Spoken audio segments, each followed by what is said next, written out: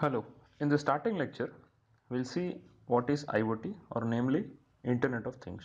In this lecture, we'll see what is a thing, why Internet is chosen to connect things, and few smart IoT applications, and we'll also see how huge is an IoT and a simple IoT architecture and a bigger picture of IoT, how it can be used. Now, what is a thing?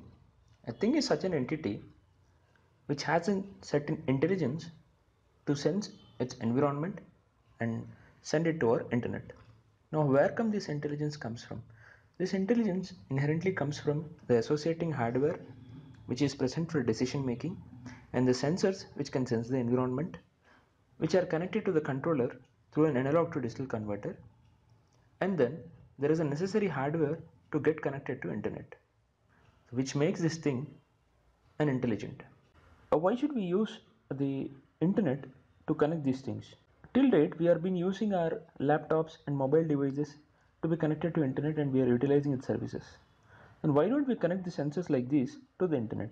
The biggest advantage of using internet is because a well-established network is already there in place and you don't need to reinvent a complete communication network again. If you see the internet backbone is essentially a huge huge optical fiber networks which are connected between the continents.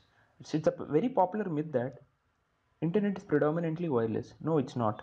You are able to access your internet with dazzling speeds because of the optical fiber network. Now we'll see few popular IoT applications in the market. First of all, when we say Internet of Things, any uh, application which comes into our mind is a smart bin. A smart bin is such a bin which has a sensor which tries to find out the level of trash can, the amount of trash which is present in that. When the trash can gets filled, it will send the status to the control station. Now what is the advantage of having this kind of trash cans?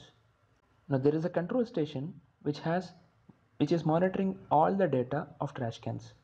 Now we know how many trash cans are filled and how many trash cans are not filled. This particular information can be shared to a garbage collector. Now the garbage collector knows the information which trash cans are filled and which area is been filled with more trash, which area needs further more trash cans, which area is less frequently being filled, all this data. One more utility which is popular is the tank utility, which tells you the level of water tank in your home, which will be very handy to many of the households. When one more application is Sherlock. Sherlock is such a device which when connected to your uh, when connected to your bike or bicycle can track in real time where is your bike or bicycle going. It will help you in anti-theft.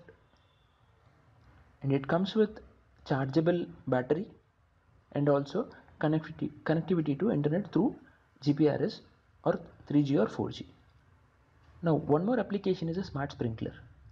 When you give type of data like vegetation type and sprinkler type and soil type and sun exposure and also slope amount of your farm this can schedule your sprinkling times and can also suggest you what kind of sprinkling should be done for this kind of farms at what frequencies you have to sprinkle them few more applications like smart home variables smart city smart grids will also play a major role in case of internet of things and how huge is Internet of Things? It is estimated that around 75.44 billion devices will be connected to the internet by the year 2025.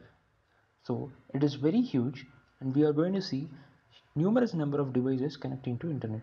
And now how will be a simple IoT architecture be? A simple IoT architecture will have a sensor which tries to sense any kind of data like sensor, uh, temperature, pressure, position, weight, speed, etc which is basically connected to an analog to digital converter which converts the analog signal to digital and gives it to your microcontroller.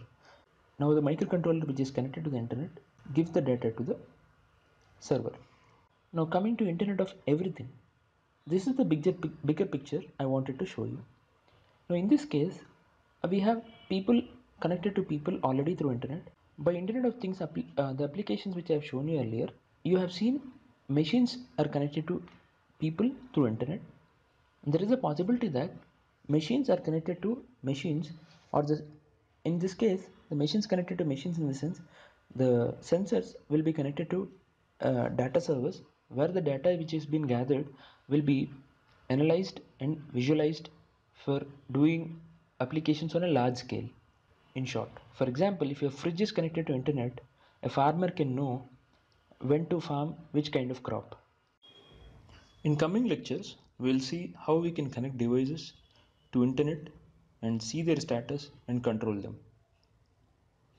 Thank you.